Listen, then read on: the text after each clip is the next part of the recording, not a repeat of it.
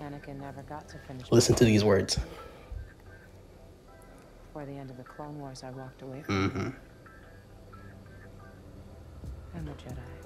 All right, I was going back rewatching, and it got me thinking. Right, what if they're about to do Dragon Ball Z meets Star Wars? Right, the world between worlds is kind of like you could kind of think of it like um, the hyperbolic chamber, right? Where like a day is somewhere equal to like a what a year, and it's like an opportunity for Ahsoka and Anakin to like find that closure, and for also Anakin to to finish the training with Ahsoka. And what is time even? What does it even mean in like the world between worlds? Technically, they could kind of like stay there for as long as they need, and then find a door, come back to the present, and take care of business. So that's like the happier version of things, right? Where like most likely you're gonna have one of the deities involved, which is gonna be the daughter. But judging from how things ended, it, it might be something horrible. You've got pre-cut Anakin Skywalker with the dark aesthetic, right? And then you have on top of that the music, which gives you a really bad feeling, right? So, from Rebels, right? If the daughter has access to this realm, what if the son also has access to it? Because in Rebels, right, that mad scientist, I'm gonna just call him a mad scientist, um, he talks about how, like, the deities are basically the key to, like, opening and closing this realm, giving you access to the, the world between worlds. And then he follows it up with, you know, giving us like a sort of rundown on the owl. The owl could be two things. One, it could be like a, a servant of the daughter, right? Or it could be the daughter herself, you know, representing like a spirit guide that guides and follows, you know, just like how she guides and follows Ahsoka and also um, Ezra, right? It got me thinking of ways you could like dive into this world.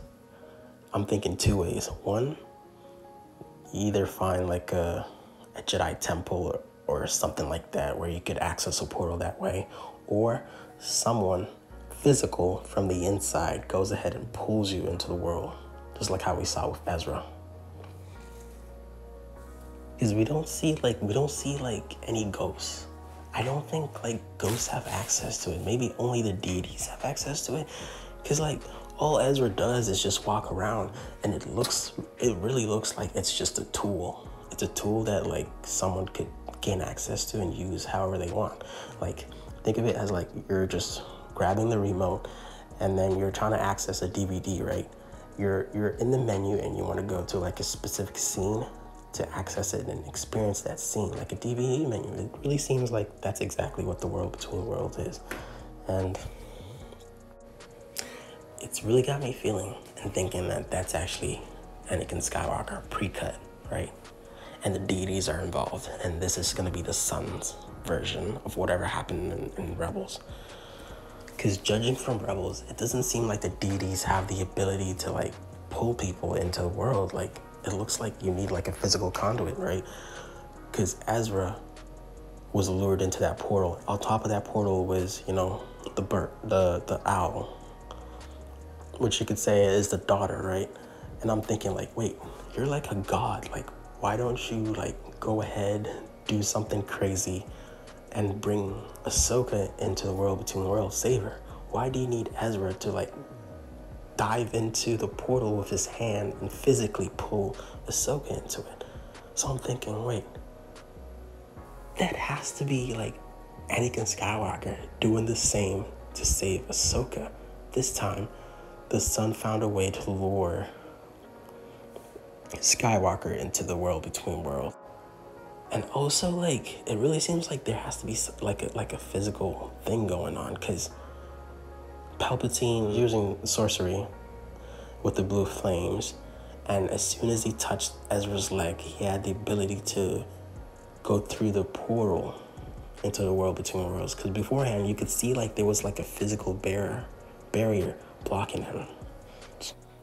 I love that scene. Like you could, you you could hear like Ezra screaming, like he's so scared. He's coming through. Palpatine's coming through. And then Ahsoka goes and slices you know, whatever hold um, Palpatine had on Ezra's leg. And that that was that physical touch was giving him the ability to like pierce through the veil and you know gain access to the world between worlds.